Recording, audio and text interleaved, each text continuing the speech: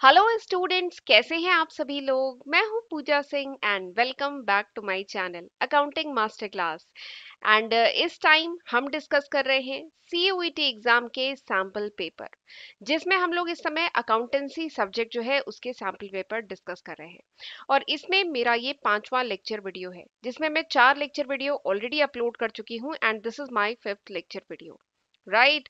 तो चलिए फिर देर किस बात की है? जल्दी से हम आज का लेक्चर स्टार्ट करते हैं।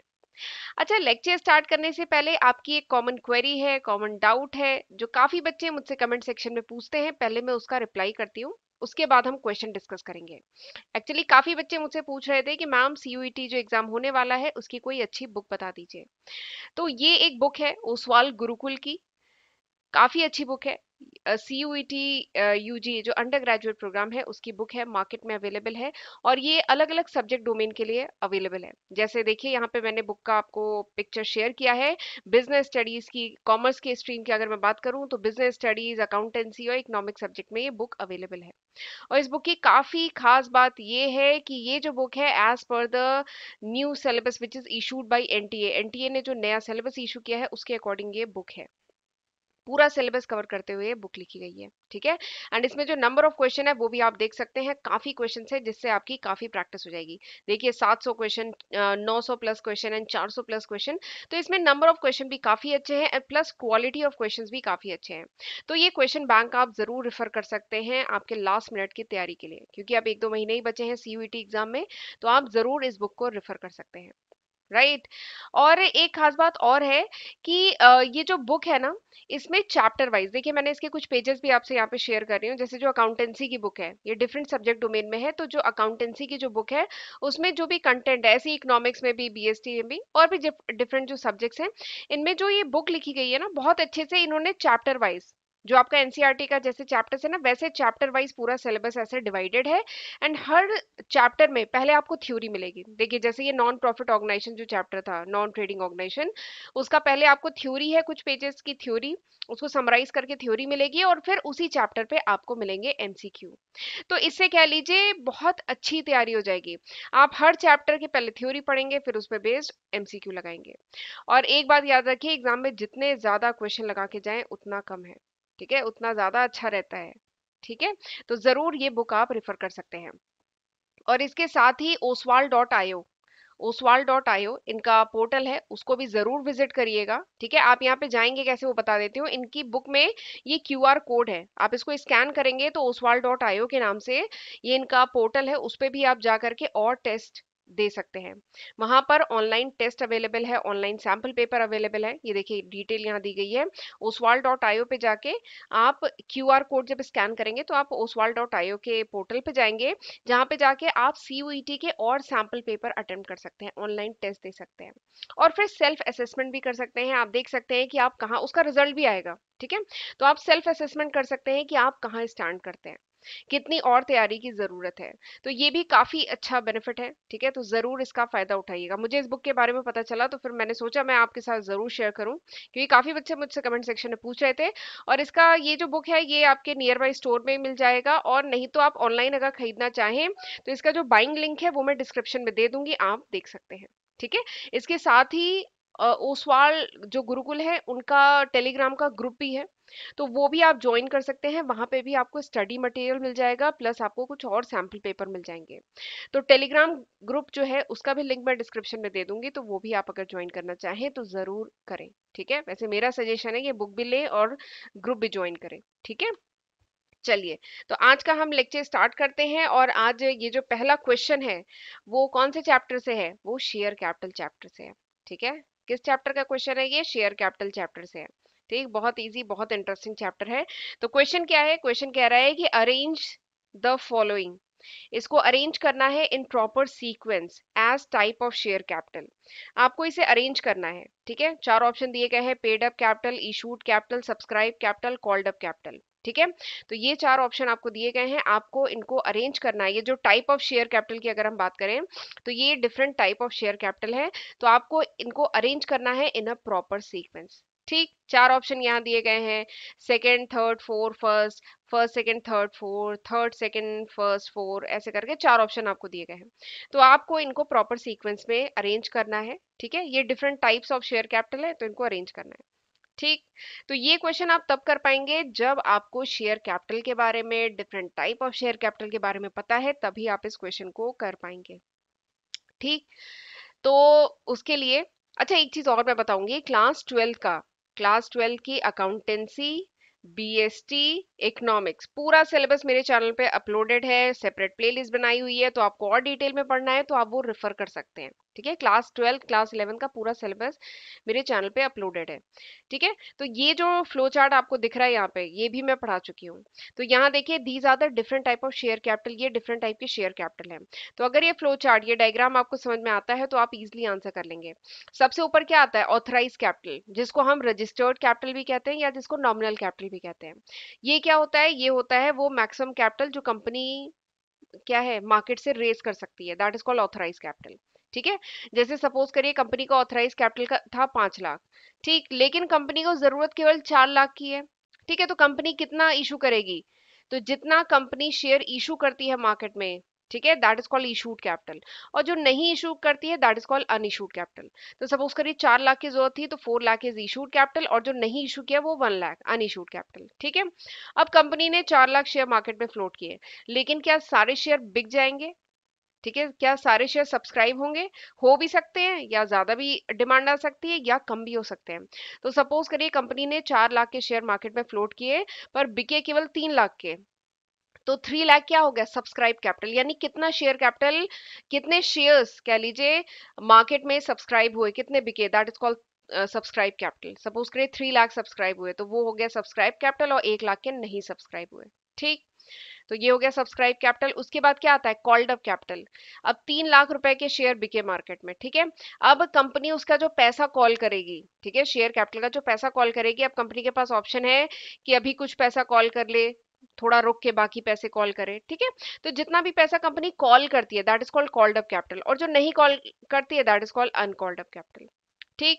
अब कॉल्ड अप कैपिटल में भी शेयर होल्डर जो पैसा दे देता है, वो होता है पेड अप कैपिटल और अगर शेयर होल्डर कुछ पैसा नहीं दे पाता है तो वो क्या जाता है? कॉल इन एरियर ठीक है? तो ये पूरा सीक्वेंस है, बाकी आप अनरिजर्व एंड रिज़र्व कैपिटल जानते हैं, पिछले लेक्चर में डिस्कस हुआ था। तो ये पूरा सीक्वेंस है। तो ये सीक्वेंस समझ में आ रहा है तो अब आप बहुत आसानी से बता सकते हैं, कौन सा सही आंसर है, बताइए। इनका प्रॉपर सीक्वेंस क्या होगा? सबसे ऊपर क्या होता है? सबसे ऊपर होता है इशूड कैपिटल कंपनी कितना शेयर कैपिटल इशू कर रही है, ठीक है? स्पेलिंग गलत लिखा, एक minute I S S U E T issued capital कितना इशू कर रही है? उसके बाद उसके बाद क्या आएगा? इशूड कैपिटल के बाद आएगा सब्सक्राइब कैपिटल कंपनी ने इशू किया तीन लाख के, ठीक है? लेकिन बिके कितने? ठीक है? तो that is called subscribe capital उसके बाद कंपनी क्या करती है? उसके बाद कंपनी कॉल करती है। बिक गए तो आप उस पर पैसा कॉल करेगी, ठीक है? तो वो आएगा कॉल्ड अप कैपिटल एंड उसके बाद शेयर होल्डर कितना पैसा दे पाता है? That is called paid up capital ठीक है? तो दिस इज़ द सीक्वेंस ये सीक्वेंस है। पहले इशूड कैपिटल फिर सब्सक्राइब कैपिटल फिर called up capital then paid up capital this is the sequence तो आप अब समझ सकते हैं यहाँ पे आंसर कौन सा है? यहाँ पे है option A is the correct answer ठीक है? ऑप्शन एक करेक्ट आंसर है राइट right? चलिए, समझ में आ गया नए क्वेश्चन चलिए, अगला क्वेश्चन देखते हैं अगला क्वेश्चन भी काफ़ी अच्छा है। एक बार क्वेश्चन वीडियो को पॉज करके क्वेश्चन रीड भी कर लीजिएगा खुद से, ठीक है? क्वेश्चन क्या है? कि एक कंपनी ने परचेज की है machinery a company purchase machinery for six lakh out of which one lakh was paid immediately एक कंपनी है, ठीक है? उसने कुछ मशीनरी ये मशीनरी है, उसने वो मशीनरी परचेज की कितने की? छह लाख की, ठीक है? छह लाख की मशीनरी परचेज की जिसमें वन लाख कंपनी ने इमीडिएटली पे कर दी है।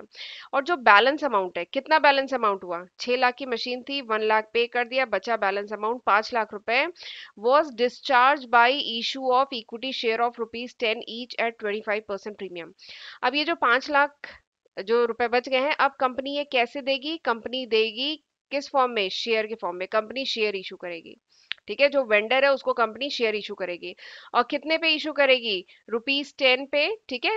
And rupees ten face value है और कितने परसेंट प्रीमियम पे? पच्चीस परसेंट प्रीमियम पे इशू करेगी उसे, ठीक है? तो आपको बताना है कि कंपनी वेंडर को कितने शेयर इशू करेगी। ये क्वेश्चन समझ में आया? मशीनरी थी छह लाख की, एक लाख तुरंत पे कर दिया, बच गया पाँच लाख। अब पाँच लाख रुपए कंपनी कैश में नहीं पे कर रही है। कंपनी अपने कंपनी का शेयर दे रही है। किसको, वेंडर को, जिससे मशीनरी खरीदी है, ठीक है? तो फिर उसको शेयर इशू कर रही है। अब शेयर की फेस वैल्यू क्या है? दस रुपए का शेयर है और ये प्रीमियम, पच्चीस परसेंट प्रीमियम पे उसको इशू कर रही है, ठीक है? तो आपको बताना है वेंडर को कंपनी कितने शेयर इशू करेगी, ठीक है? दिस इज़ द क्वेश्चन तो चलिए करना शुरू करते हैं। वैसे बहुत इजी क्वेश्चन है। सबसे पहले तो ये बताइए कि कितना अमाउंट का शेयर कंपनी इशू करेगी? कितने अमाउंट का शेयर इशू करेगी? पाँच लाख? छह लाख की मशीनरी थी, जिसमें एक लाख तो तुरंत पे कर दिया। पाँच लाख के शेयर कंपनी वेंडर को इशू करेगी। ठीक है? तो अगर मुझे नंबर ऑफ़ शेयर निकालने हैं, number of share, number of equity share मुझे निकालने हैं तो क्या करेंगे? पाँच लाख के शेयर हैं, ठीक है? पाँच लाख के शेयर हैं, और बताइए पर शेयर की वैल्यू कितनी है? एक शेयर की वैल्यू कितनी एक शेयर कितने का है? दस रुपए है फेस वैल्यू, ठीक है? दस रुपए है फेस वैल्यू और two, twenty five percent premium है। ट्वेंटी फाइव परसेंट यानी टू पॉइंट फाइव। यानी जो हर शेयर है वो कितने का है? हर शेयर है ट्वेल्व पॉइंट फाइव का। ठीक है? कंपनी वेंडर को पाँच लाख के शेयर इशू कर रही है, जिसमें एक शेयर की वैल्यू कितने की शेयर की वैल्यू इशू कर रही है? कितने शेयर की वैल्यू पे इशू कर रही है? दस रुपए फेस वैल्यू और twenty five percent premium twenty five percent यानी टू पॉइंट फाइव ठीक है? तो यानी जोड़िए कितना होगा? बारह पॉइंट फाइव ठीक है? अब जरा इसको डिवाइड कर लीजिए। इसको आप जब डिवाइड करेंगे you will get forty thousand you will get forty thousand ठीक है? तो यानी कंपनी वेंडर को कितने शेयर इशू कर रही है? कंपनी वेंडर को इशू कर रही है चालीस हज़ार शेयर। ठीक? ये बात समझ में आई? कंपनी वेंडर को कितने शेयर इशू कर रही है? कंपनी वेंडर को चालीस हज़ार शेयर इशू कर रही है और शेयर को किस प्राइस पे इशू कर रही है? ट्वेल्व पॉइंट फाइव की प्राइस पे इशू कर रही है और ये शेयर की टोटल वैल्यू कितनी है? पाँच लाख की वैल्यू है, पर मशीन तो छह लाख की थी। तो पाँच लाख की वैल्यू इसलिए क्योंकि एक लाख रुपए तो कंपनी ने तुरंत पे कर दिया था। ठीक है? एंड मशीनरी कितनी की है? छह लाख रुपए की, ठीक है? तो अब आप बता सकते हैं यहाँ पे आंसर क्या है? Option B is the correct answer ठीक है? ऑप्शन बी करेक्ट आंसर है। चलिए अगले क्वेश्चन पे चलते हैं। अब ये जो अगला क्वेश्चन है, ये स्पेशली मैंने इंक्लूड किया है, क्योंकि मैं देखती हूँ कमेंट सेक्शन में ये जो कंफ्यूजन है, जो इस क्वेश्चन से रिलेटेड है, ये बच्चों को बहुत रहता है। इसलिए मैंने स्पेशली ये क्वेश्चन इंक्लूड किया है। क्वेश्चन क्या है कि issue of share at discount is not allowed under which section of the company act 2013 ठीक है? कंपनी हम जानते हैं कंपनी शेयर को इशू कर सकती है किस पे? एट पार ठीक है? एट पार एट प्रीमियम ठीक है? और कुछ पुरानी बुक्स आप पढ़ेंगे ना तो वहाँ पे दिया हुआ था एट डिस्काउंट पुरानी बुक्स में, ठीक है? बट कंपनी एक्ट 2013 जब आया ठीक है? तो कंपनी एक्ट 2013 आया तो उसके एक पर्टिकुलर सेक्शन में ये कहा गया है कि company cannot issue share at discount company जो है आ, मतलब ऐसे नहीं इशू कर सकती है। कंपनी को अलाउ नहीं है कि वो शेयर को डिस्काउंट पे इशू कर सके। एज पर कंपनी एक्ट 2013 ठीक है? लेकिन कुछ पुरानी बुक 2013 की पहले की बुक्स आप रेफर करेंगे तो वहाँ पे लिखा था कि शेयर इशू किया जा कर सकती है company at premium at par at discount ठीक है? लेकिन जब कंपनी एक्ट 2013 आया तो issue of share at discount नहीं अलाउ है। तो ये सवाल पूछ रहा है कि अंडर विच सेक्शन किस सेक्शन के तहत? तो इसका आंसर है अंडर सेक्शन 53 ठीक है? Under section 53 of company act 2013 company is not allowed to issue share at discount ठीक? और मैं ये क्वेश्चन इसलिए इंक्लूड किया है मैंने क्योंकि काफ़ी बच्चों को कंफ्यूजन था कि मैम क्या शेयर डिस्काउंट कमेंट सेक्शन में पढ़िएगा। काफ़ी बच्चे पूछते थे कि मैम क्या शेयर डिस्काउंट पे इशू हो सकते हैं, नहीं हो सकते काफ़ी कंफ्यूजन था तो इसलिए इंक्लूड किया। तो कंपनी एक्ट 2013 जब से आया ना, उसके सेक्शन 53 में कह दिया गया कि नहीं इशू कर सकते। लेकिन उसके पहले की बुक्स में आप देखेंगे कि किया जाता था शेयर ठीक है? बट इसमें एक्सेप्शन भी है। इसमें एक्सेप्शन भी है। ठीक है? कुछ एक्सेप्शन भी हैं, वो आप इस सेक्शन को डिटेल में पढ़ेंगे तो वहाँ पे आपको मिलेगा, ठीक है? फ़िलहाल यहाँ पे क्या है आंसर सेक्शन 53 के तहत कंपनी नहीं डिस्काउंट पे इशू कर सकती। राइट? तो चलिए आज मैं यहीं तक रखती हूँ। तब तक जितना मैंने पढ़ाया है, उतना पढ़ के रखिएगा। उस सवाल की बुक बहुत अच्छी है, आप उसको बाय कर सकते हैं। ठीक है? और अच्छे से तैयारी करिएगा। और एक चीज़ और है, ये एक बार देख लीजिए, ये लिस्ट ऑफ़ सब्जेक्ट है जो मैं आज की तारीख, यानी अप्रैल 2023 तक अपने first channel accounting master class पे कवर कर चुकी हूँ। वीडियो को पॉज करके ये सारे सब्जेक्ट देख लीजिएगा। साढ़े छह सौ से भी ज़्यादा वीडियो लेक्चर्स आज की तारीख तक अपलोड कर चुकी हूँ। बट एक चीज़ और है, अगर ये वीडियो आप कुछ महीने बाद, कुछ साल बाद देख रहे हैं तो इसमें मैं काफ़ी न्यू सब्जेक्ट ऐड कर चुकी होंगी।